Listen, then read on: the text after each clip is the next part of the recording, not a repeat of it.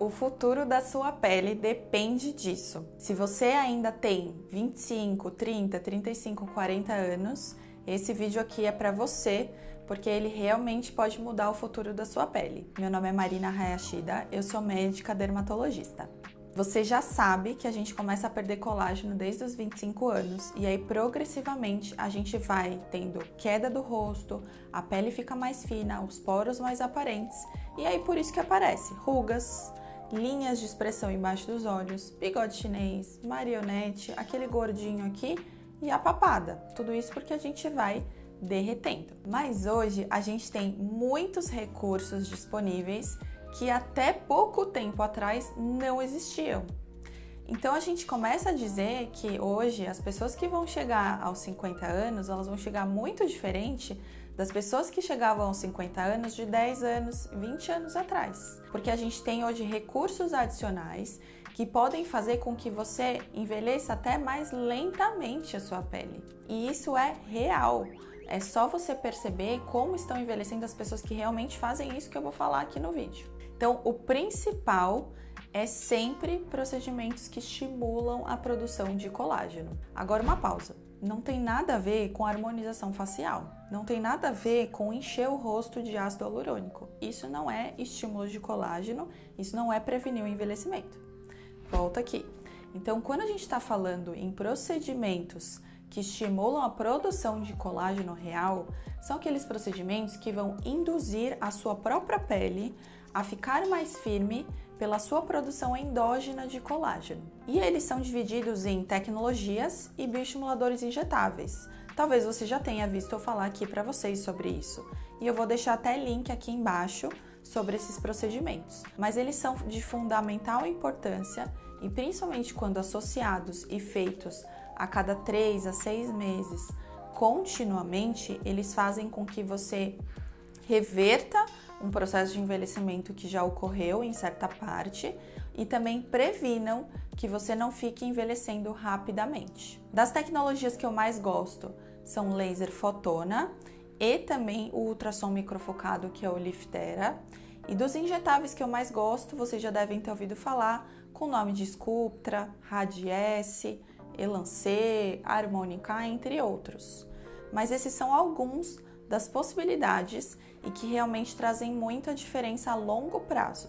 Então você já deve ter visto, ou se você for pesquisar, famosos que fazem muito estímulo de colágeno já há 10, 15 anos, o quanto que eles estão envelhecendo bem, diferente daqueles famosos que ficam fazendo harmonização facial e envelhecem mal, envelhecem de uma forma que o rosto fica inchado e parece que cada vez mais eles parecem não mais novos, mas mais velhos justamente pelo exagero ali de enchimento que foi feito no rosto.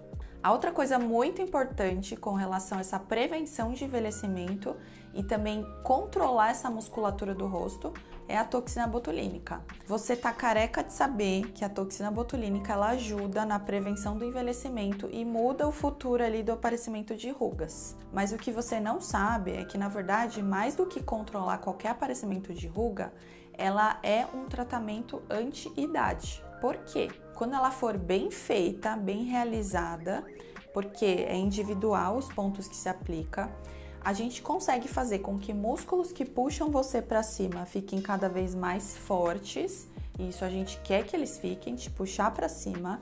E músculos que te puxam para baixo, que ficam nessa região, nessa região e nessa região do pescoço e do contorno do rosto, sejam cada vez mais fracos.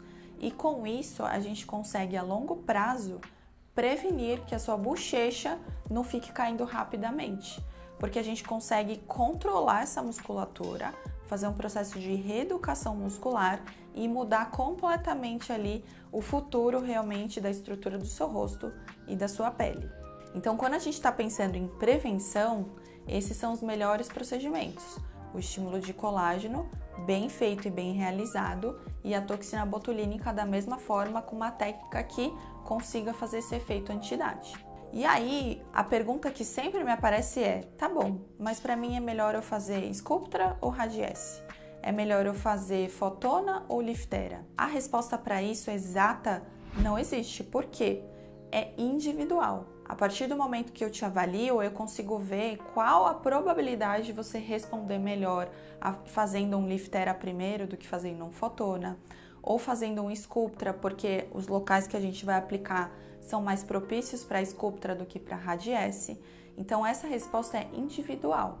E na maioria das vezes a gente vai associar esses tratamentos, uma tecnologia com um bioestimulador injetável. Faz a toxina botulínica, terço superior e terço inferior. E aí sim, a longo prazo, a gente vai sempre rejuvenescendo e melhorando todo esse processo de envelhecimento. E isso, gente, pode escrever muda o processo de envelhecimento e realmente o futuro da sua pele. Encaminhe esse vídeo nos seus grupos de amigas, de WhatsApp ou de contatos para todo mundo saber desses processos hoje de mudança que tem, que hoje não existe só cirurgia plástica, não existe só fazer harmonização facial, existem outras coisas também possíveis. Não se esqueça de deixar sua curtida aqui também no vídeo e se inscrever no canal. Quando você ativa lá o sininho, você recebe também as notificações dos próximos vídeos que eu for colocando aqui. Então isso é bem importante também, se inscrever e ativar o sininho. E até a próxima!